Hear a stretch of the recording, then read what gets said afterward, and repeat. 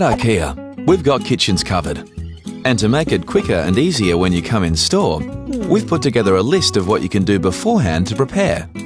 Firstly, decide what's staying and going in your new kitchen. So you want to pull out your saggy cabinets and stained bench tops, but what about the more practical items?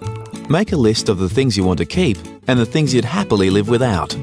And decide whether some of those pieces include appliances or your current furniture, like those cracked vinyl stools from your mother in law. Then take some photos of your current kitchen. These will help down the road when working with our kitchen specialists. Next, figure out the space you're working with. Get exact measurements of your entire kitchen, like the walls, height of ceilings, and the location of the windows and doors. Grab measurements for anything that protrudes out of the floors or walls, like that odd pipe behind the pantry. And mark out the size and position of any appliances and objects you're keeping, plus your electrical and water outlets. Now you've got all those details down, you can make a room plan. Simply open up our online 3D planner and add in your measurements.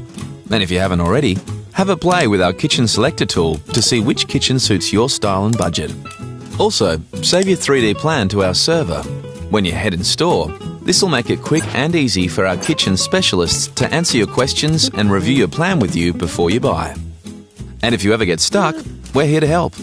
We also offer delivery and an installation service, plus payment and financing options. And to make it easy, all these steps can be found in our downloadable PDF checklist and guide. Hmm. IKEA. From inside out, we've got kitchens covered.